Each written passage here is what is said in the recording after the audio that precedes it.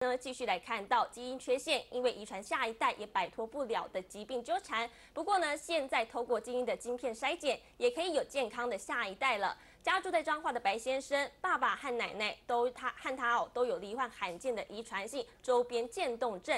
四肢都会逐渐的肌肉萎缩，到最后不能行动。他结婚后担心下一代也摆脱不了这个遗传的魔咒，于是呢，透过最新的基因芯片来筛检技术，果然让太太一口气怀有健康的三胞胎，也让这家人感动的说：“这是母亲节最好的礼物了。”很难呢，我真的扣不起来。扣扣子对一般人来说稀松平常，但白先生就非常吃力，因为他罹患周边渐冻症，这种罕见的疾病家族遗传，让他和奶奶、爸爸一样，双手双脚会随着时间慢慢萎缩。他的妈妈照顾一家三代，摆脱不掉的魔咒，满腹心酸。我有很多埋怨，我也是很不快乐，但是。没有办法。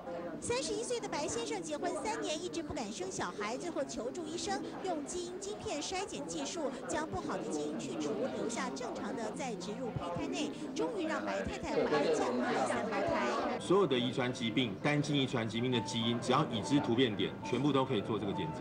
当然，你说以后会不会突变，这还是有存在的机会，是非常低。医生指出，目前大部分的基因缺陷都可以透过基因晶片筛检出来，包括习惯性流产、高龄生产等等，可以摆脱家族遗传疾病的纠缠。